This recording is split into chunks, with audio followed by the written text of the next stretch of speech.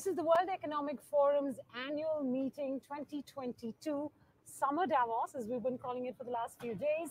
And I have with me the Deputy Managing Director of Bharat Forge, Amit Kalyani, to talk about the transformation that his business is going through and the India story as he sees it play out here in Davos. But Amit, before we get to both of those topics, um, a general sense of the mood amongst business here in Davos and what that tells you about the next 12 to 24 months? See, right now, being in the middle of Europe and Europe facing all these uncertainties, stresses, uh, huge inflation on account of energy, obviously the mood is circumspect. Um, there is a lot of confusion, there is a lot of concern, and there is very uh, low attendance. Yes. Wherein, you know, towards the end of May, uh, a lot of Europe is shutting down for holidays. A lot of European plants are taking holidays because of slack demand or uh, supply chain issues. So there is a, I would say, definitely a lack of buzz at Davos, Mm. as we spoke earlier. But um, I think you do see a lot of confidence and a lot of energy with the Indian companies here. I think the Indian companies have performed well during COVID. They have managed to overcome the challenges of COVID uh, in a reasonable manner. And I think they have most companies here from India have good reason to be confident about the future. Okay. And you feel that same way about the prospects absolutely, absolutely, absolutely. So, can you give us a sense of how you see the demand environment pan out over the course of the next six to 12 months? I say this knowing that you already know, and I don't need to repeat it, all the challenges we're face, facing Absolutely. from input costs to the auto industry, chip issues, to now rising interest rates. Absolutely. So, um, what we've done is we've completely started transforming our company. We have transformed it from one company into five verticals, Right. each one being customer focused on its line of business or sector in order to make it nimble, faster, more agile, and more customer focused. So, this allows us to have five times the amount of brain power doing the work than it was earlier. It was it's not a monolithic company anymore. It's five verticals. Um, the five verticals are our industry, our uh, automotive, conventional automotive vertical, Right. industrial vertical, the defense vertical, the lightweighting and EV vertical, and the aerospace vertical. Some of them are small, some of them are large, but uh, we have now created a strategy of how we have to grow each one very substantially by 26. So we've set some very ambitious goals. I'm not going to talk about numbers or outlook, but let's just say that we are going to supercharge our growth. We see opportunities as last man standing in the conventional business by focusing on cost, quality, engineering, and technology, and being a technology leader and a innovator in some of the newer areas. So we are investing in EV, in industrial. We believe industrial is going to be a big growth driver going forward because if you look at this whole clean energy uh, and decarbonization, it means creating alternative sources of energy, which is renewable, which is wind plus solar. There is a lot of hydrogen, and hydrogen needs a lot of capital goods. So there is a lot of opportunity in that sector. Hydro and energy storage need a lot of uh, investment. So we see a lot of opportunity in those areas. So we've created a focus vertical around that, where we, you will see us making acquisitions, making partnerships, and creating a value proposition to move from just being a supplier of components to subsystems and partnership mode with a lot of companies in those sectors. Because it's like uh, it's like ground zero. You know you're going from zero in you know hydrogen across the world to where it will be in 50 years probably a mainstream of energy. So it's like you know the steam engine or uh, you know any kind of energy revolution that took place is we're at the early stages of that so that's the other sector. Defense as you know is some, somewhere where we've been working for a long time Yes. almost 10 years. We have two primary products that we're focusing on. One is artillery and the second is protected vehicles. In artillery our ATAGS gun has passed all its user trials it has done so very successfully with flying colors and hopefully now that the trials are over we're going to be in a stage where we can go to uh, receiving orders rfqs that whole process. Okay. Uh, aerospace is a market where we focus a lot on technological products, uh, metallurgical products, and very happy to say that we will see our aerospace business almost double this year and next year from the previous years. So YOY because we are seeing a lot of new traction and a lot of new orders. Uh, so these are let's say the you know multiple verticals. EV we have invested a lot on the lightweighting and EV side. So there we have a play on the lightweighting in terms of components and subsystems, and in power electronics, control electronics, and components and subsystems for electric vehicles, right from two-wheeler, three-wheeler components to uh, light and medium commercial vehicles. So that will give us a big play over the next seven, eight years as those sectors mature. Um, Conventional vehicles. That's conventional, so that you didn't conventional vehicles, I said the one right now. conventional vehicles, we will be the last man standing. Okay. Okay, we want to be the lowest cost, highest quality producer and technology partner for anybody who's making uh, IC engines and IC engine based products going forward. Okay. So we will be able to do all the engineering, product development for the components and subsystems that they want But because this will become a smaller and smaller part No, no, it will in fact grow, will grow? because a lot of in-house manufacturing will move to outsourcing. So we expect that all in-house manufacturing for Of- conventional yes. vehicles See most move to outsourcing. See, most OEMs still have a lot of conventional manufacturing of Correct, components and subsystems in house. Yes. Now, when they have to invest for EV, you can't keep sustaining something that needs so that investments to exactly to like outsource to outsourcing. Yeah, Yes. That's what we hope. So that's the strategy there. But isn't there isn't that the the, sh- the shelf life of that business it's 10 to now 15 in years. countdown mode? It's in 10 to 15 years. But please remember years. that even when we move to full electric, there may be 5 to 10% of the vehicles or 15%, especially strategic issues, could be to do with you know emergency vehicles or whatever, which is still a large population worldwide, which will need support and will need replenishment. okay. So there will be some amount that will remain. So what while we are focusing on growth, we're also very conscious of sustainability. So every business of ours is incorporating complete ESG and uh, global ESG and sustainability norms in its business uh, uh, strategy. So every business will be using uh, more and more uh, renewable energy. Today, we on an aggregate use about 26 to 27 percent of renewable energy. Mm. By 2026, we will cross 50 percent, and by 2030, we will be substantially above 75 percent. Plus, becoming net water, uh, you know, uh, reduce your net water consumption, net zero wastage, and uh, you know, put in place measures to be more uh, uh, climate conscious in every way are a large part of our mission going forward. So you've painted a vivid picture. I have some quick questions Absolutely. to ask you uh, in response. Uh, the entry into some of these businesses, for instance, EV or renewable energy, let's say, for instance, hydrogen, uh, the client profile is very different. There. Very different. Uh, the project sizes are very different there. Uh, so, what can we expect as you build out these businesses over the course of the next two or three years? How does this play out in your financials, in your margins, in your working capital requirements? You know, I know Yeah. it's difficult to get specific at this stage, but your broad planning for. I'll tell you what we're doing. What we've done is we've created a prototyping and incubation center where even the customer is in a prototyping stage.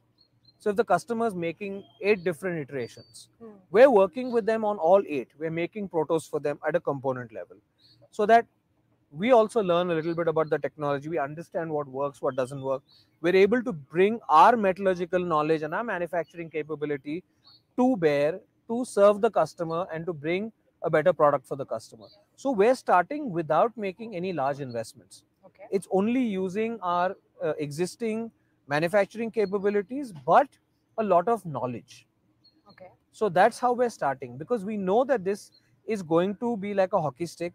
It's going to be two, three years of lot of development and then version one, version two, version three.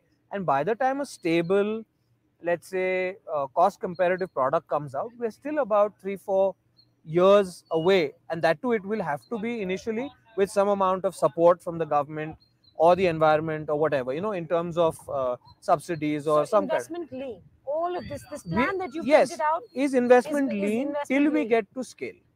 and, that would be where roughly 20, I don't know, because- 25 or I see. I don't know because I'm not the. I'm not making the end product.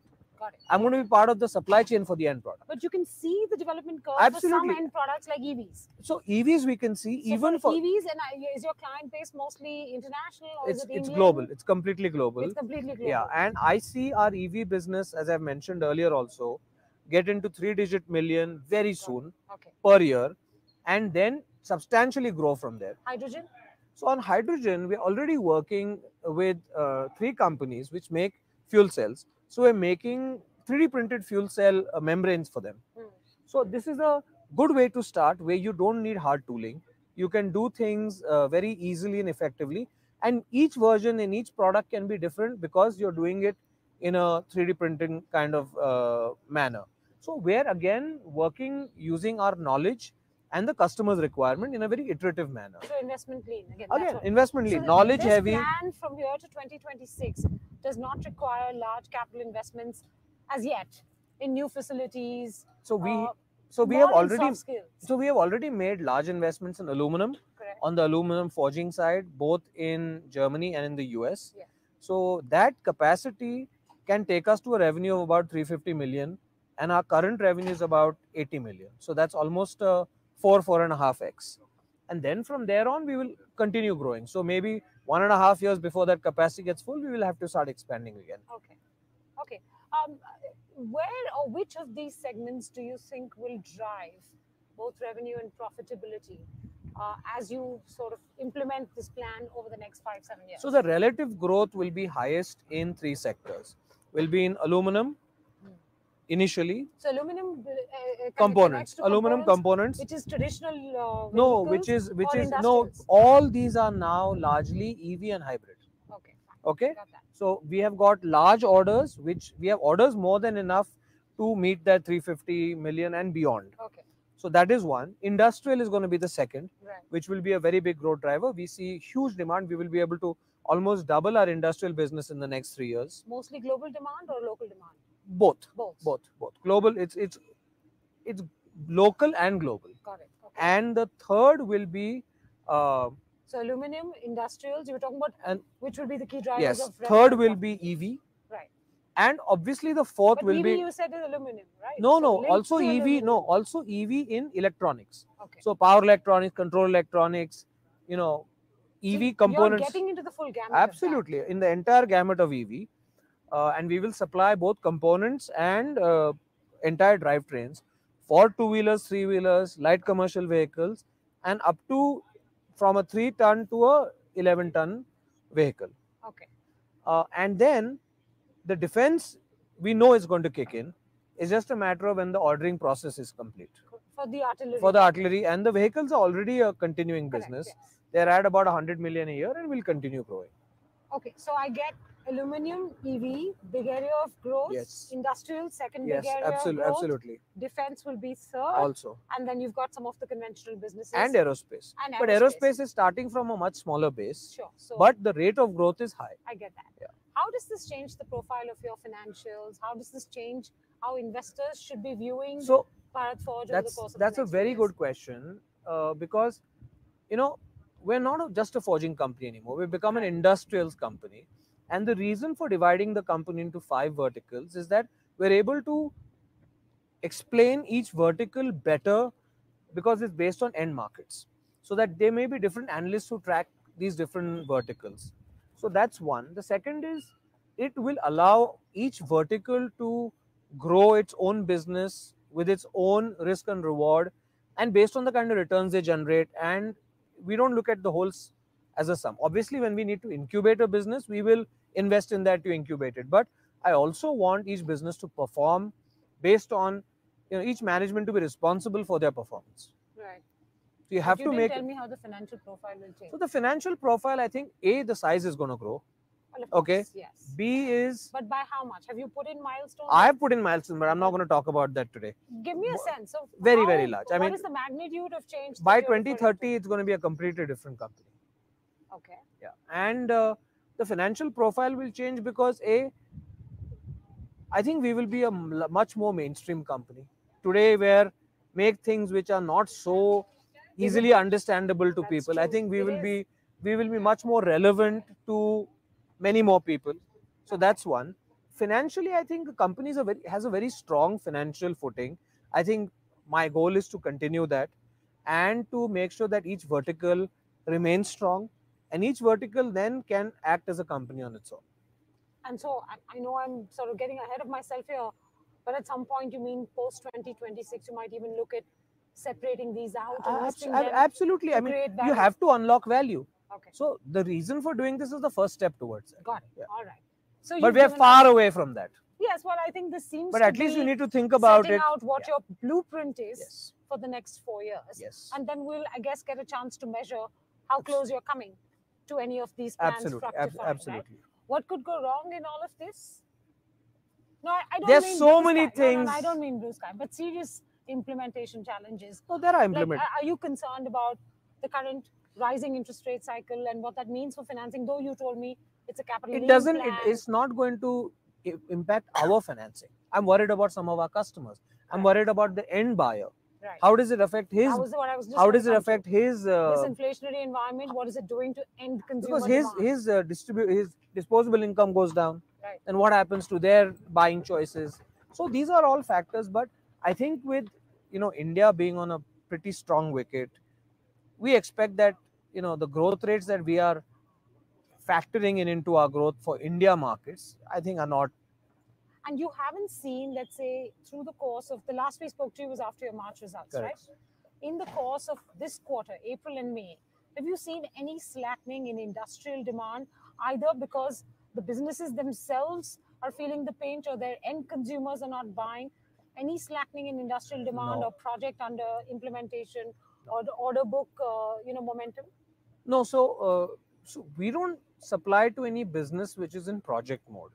We're not a I'm project. project yeah, mode, but like you know what I mean. Yeah. So I just mean like expansion plans, adding new facilities. actually, plans, right what I now, right now, India is getting ready to restart the capital cycle. If you look at the steel companies, if you look that, at the cement we companies, were discussing absolutely, before absolutely. the Ukraine war Absolutely. broke out. Uh, and now I'm not sure whether that No, I think stands, especially with the interest rate scenario. I think it will stand. so. You're not seeing any slackening. Nothing right now. I even spoke to you know the head of Axis Bank a little while ago, So and he I. also so he also said the same thing. He doesn't. yeah, well, he struck a note of confidence Yeah, as so well. he also said the same yes, thing. Yes, but you've got a year to the ground in terms of No, I don't see B2B much of a difference. uh, and therefore you have a better idea of what the mood the one thing the one thing that i do see uh, unfortunately is that a lot of second and third tier players in industries are falling by the wayside. Yes. and the strong are becoming stronger. Whether you look at capital goods whether you look at epc how many epc companies do we have in india now? Yeah. yeah. So i think there is an opportunity for more. So somebody will come in. Some global companies will come in or somebody will start their own you know arms because we don't have enough for building the future of india Corporate concentration yeah is actually it's a it's a risk it's a, it's absolutely and a risk, as you pointed out. Yeah. All right, you painted a vivid picture not just of the Bharat Forge of the future, but the fact that at least in the short to medium term, you see no decline in demand in India as yet. not yet All right. Thank you so much, Thank Amit, you. for speaking to us here in Pleasure. Davos. take Have care a good trip. always good seeing you thank you you.